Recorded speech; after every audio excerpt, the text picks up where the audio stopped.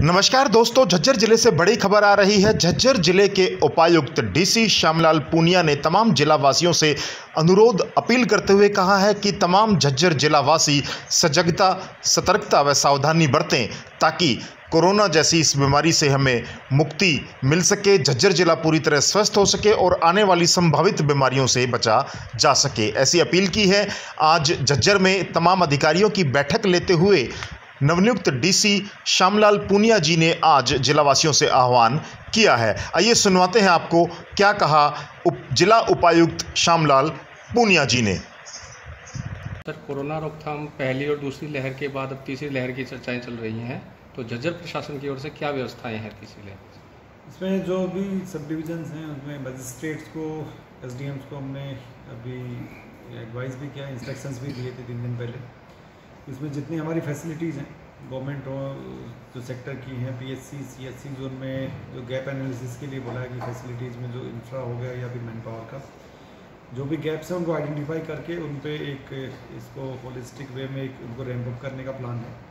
साथ ही जो गाँव में एक मिशन मोड में जो आईसी एक्टिविटी है, उसको भी ले जाने का प्लान है ताकि लोगों में एक अवेयरनेस बनाई जा सके कि मास्क की जो उपयोगिता है इस पर।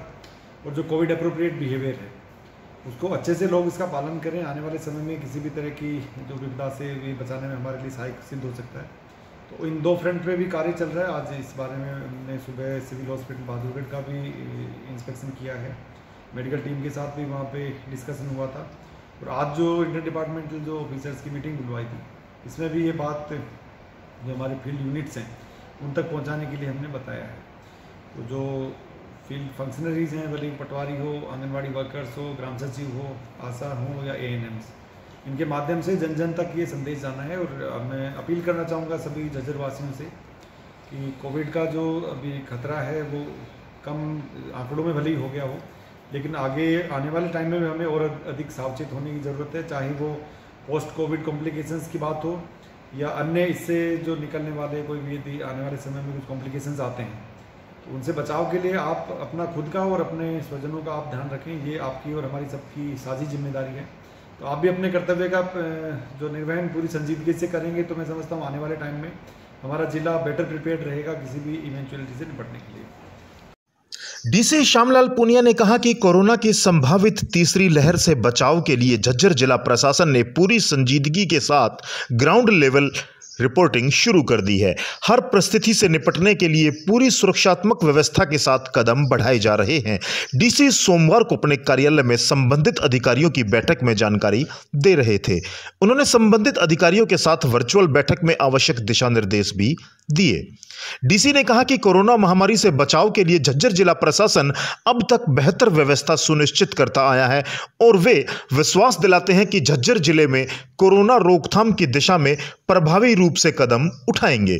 उन्होंने बताया कि शहरी व ग्रामीण क्षेत्र में संबंधित एसडीएम नियमित तौर पर आमजन को वैक्सीनेशन के प्रति प्रेरित करें। बेहतर स्वास्थ्य सेवाएँ प्रदान करने के लिए झज्जर ज़िले में स्वास्थ्य विभाग की ओर से सीएचसी व पीएचसी स्तर पर मॉनिटरिंग सुनिश्चित होगी। पर्यावरण के प्रति सार्थक पहल करते हुए झज्जर ज़िले के गाँवों में विकसित होंगे oxygen park, DC Shyamlal Punia ने कहा। पायलट प्रोजेक्ट के तहत चौदह गाँव चिन्हित। मंगल मंगलवार को गठित टीम प्रति खंड दो गाँवों का दौरा कर तैयार करेगी रूपरेखा।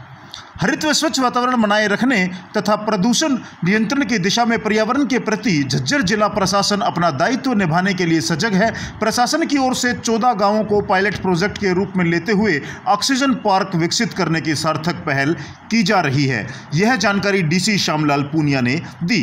वे सोमवार को लघु सचिवालय सभागार में पर्यावरण संरक्षण के तहत ऑक्सीजन पार्क को तैयार करने बारे संबंधित अधिकारियों को आवश्यक दिशा निर्देश दे रहे थे। इस अवसर पर एडीसी जगनिवास बीईओ जिला परिषद, Trilokchand SDM Jhajjar, Shikha SDM Beri Ravinder Kumar SDM Badli Vishal Kumar SDM Bahadurgarh Hitender Kumar CTM Shivjeet Bharti DRO Bastiram DDPO Lalita Verma DIO Amit Bansal DHFC Manisha Mehra CGMCA Supriya Sinha सहित अन्य संबंधित अधिकारी मौजूद रहे।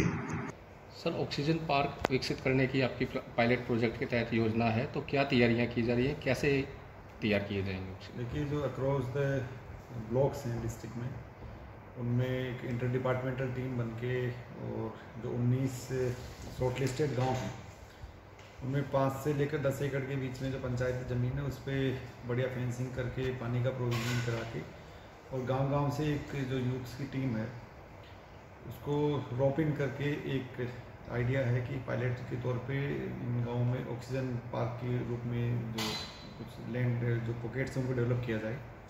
तो इस संबंध में आज सभी डिपार्टमेंट्स की बैठक हुई थी, जो ट्री मैन हैं, सोनीपत से मिस्टर देवेंद्र सूरा जी। उनके साथ भी बात हुई और उन्होंने भी अपनी विलिंगनेस जताई है कि हमारी मदद करने के लिए।